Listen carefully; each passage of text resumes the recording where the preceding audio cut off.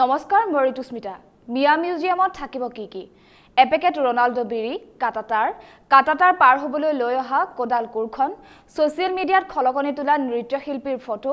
আজমলে আৰৱৰ পৰা অনা জৰাফুকা কৰা পানীৰ বটলটো আৰু একটেমা মুড়ি। মিয়া মিউজিয়ামৰ প্ৰসংগই অসমৰ ৰাজনৈতিক ক্ষেত্ৰ উত্তাল কৰিবলৈ সক্ষম হোৱাৰ লগে লগে ছ'চিয়েল মিডিয়াত ভাইৰেল হৈ পৰিছে এনে এখন তালিকা। আচলতে শ্বেৰমাল আলীৰ পত্ৰত কোনো মিয়া মিউজিয়ামৰ প্ৰসংগ নাছিল। আছিল চৰ অঞ্চলৰ সংস্কৃতি সংৰক্ষণৰ বাবে কলাক্ষেত্ৰত এটা মিউজিয়াম স্থাপনৰ প্ৰসংগহে। যি মিউজিয়ামৰ বিৰোধিতাৰে এতিয়া জংগী হৈ পৰিছে ভাৰতীয় জনতা পাৰ্টী। বিজেপি আৰু বিজেপি মিত্ৰজোঁটৰ নজন সদস্য আৰু বিৰোধীৰ পাঁচজন সদস্যই অনুমোদন জনোৱা প্ৰতিবেদন বিধানসভাত দাখিল হৈছিল চৈধ্য মাৰ্চতে। আৰু সেই প্ৰতিবেদনতেই অনুমোদন জনাইছিল আজি বিজেপিয়ে বিৰোধিতা কৰা মিয়া মিউজিয়ামৰ। সেই সময়ত বিধানসভাত মিয়া মিউজিয়ামৰ প্ৰসংগত নিমাত হিমন্ত বিশ্ব শৰ্মাই কালি মুকলি কৰিলে চেয়াৰমান আলীৰ পত্ৰ। য'ত হিমন্ত বিশ্ব শৰ্মাই এইটো ক'লে যে চৰ অঞ্চলৰ গৰিষ্ঠ সংখ্যকেই বাংলাদেশৰ পৰা প্ৰৱজিত অৰ্থাৎ তেওঁলোক কাটাটাৰ পাৰ হৈ বাংলাদেশী। হিমন্ত বিশ্বৰ এই বিস্ফোৰণৰ পাছতেই একাংশ নামি পৰিল এই ধৰণৰ তালিকা প্ৰস্তুতকৰণত। এতিয়া কথা হ'ল নিজৰ দলৰ মানুহে অনুমোদন জনাই প্ৰতিবেদন দাখিল কৰাৰ সময়ত নিমাত হিমন্ত বিশ্ব শৰ্মা চেয়াৰমান আলীৰ পত্ৰক লৈ সৰব হৈ পৰিল কিয়? নিঃসন্দেহে এটা গৰম বিতৰ্কৰ সৃষ্টি কৰা। কিন্তু প্ৰশ্ন হয় এই গৰম বিতৰ্কবোৰ সৃষ্টি কৰি থাকোঁতে হিমন্ত বিশ্ব শৰ্মাই বাৰু পাহৰি গৈছে নেকি? কিছুমান দৰকাৰী প্ৰসংগ। চিৰিয়াখানাৰ বাঘে গৰু মাংস খাবনে নাখাব আমি যেতিয়া আলোচনা কৰি আছিলোঁ তেতিয়া কেৰেলাৰ মুখ্যমন্ত্ৰীয়ে ঘোষণা কৰিছিল কেৰেলাৰ শিক্ষা ব্যৱস্থাৰ ডিজিটেলকৰণ সম্পূৰ্ণ কৰাৰ কথা। অসমৰ শিক্ষানুষ্ঠানসমূহৰ ক'ৰবাত হয়তো ছাত্ৰ ছাত্ৰীয়ে বহিবলৈ চকী বেঞ্চ নাই ক'ৰবাত পৰ্যাপ্ত ব্লেক বৰ্ড নাই। প্ৰাথমিক শিক্ষা বাদেই দিয়ক কলেজ বিশ্ববিদ্যালয়তো উপযুক্ত গৱেষণাগাৰ নাই। কিন্তু একে সময়তে কেৰেলাৰ প্ৰাথমিক শিক্ষা ব্যৱস্থা সম্পূৰ্ণৰূপে ডিজিটেলাইজ কৰা হ'ল। সকলোতে উপযুক্ত গৱেষণাগাৰ উপলব্ধ হ'ল। বছৰ বছৰ ধৰি হিমন্ত বিশ্ব শৰ্মা অসমৰ শিক্ষামন্ত্ৰী। কিন্তু আজিলৈকে অসমৰ প্ৰাথমিক শিক্ষা খণ্ডত পূৰ্ণ পৰ্যায়ৰ শিক্ষা বিষয়া নিযুক্তি কৰা নহ'ল।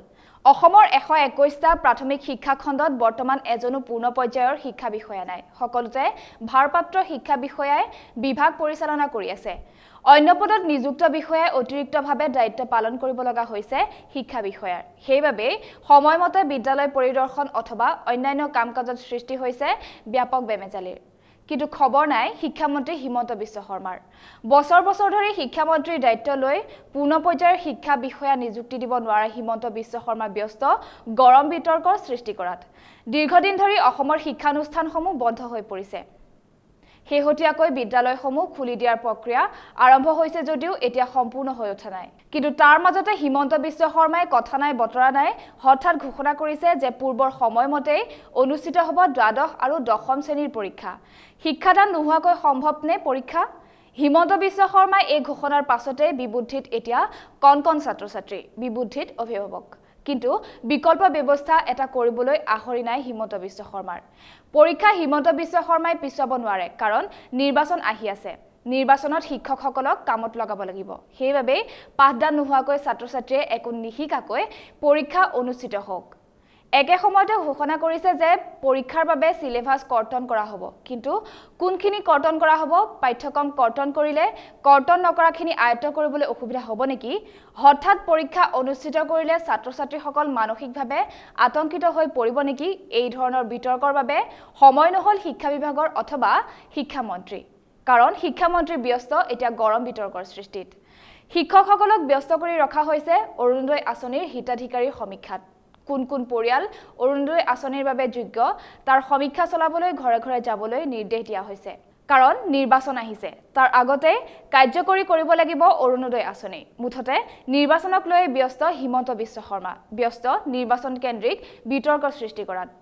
ব্যস্ত আজমল মোগল আৰু মিয়া মিউজিয়ামত। নিজৰ শিক্ষা বিভাগটোৰ কাম কাজত ব্যস্ত হ'বলৈ সময় নাই হিমন্ত বিশ্বৰ। মোগল নাই মোগল কেতিয়াবাই গ'ল। অন্তিমজন মোগল সম্ৰাটৰ সমাধিস্থলত প্ৰধানমন্ত্ৰী নৰেন্দ্ৰ মোদীয়ে শ্ৰদ্ধাঞ্জলি জ্বলোৱাৰ দৃশ্য এয়া।